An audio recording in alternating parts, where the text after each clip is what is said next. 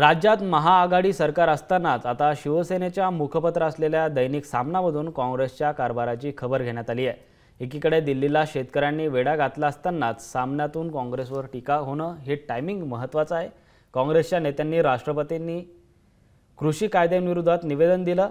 त्यानंतर केंद्रीय कृषी मंत्री नरेंद्रसिंह तोमर यांनी काँग्रेसवर टीका केली होती. युपीएतील घटक पक्षांनी तील असंतोष गांभीर्याने घेतला नाही असं तोमर म्हणाले शरद पवार वगळता कोणीही शेतकऱ्यांविरो शेतकऱ्यांवर ठोस बोललं नाही असं भाजपच्या मंत्र्यांनी म्हटलंय.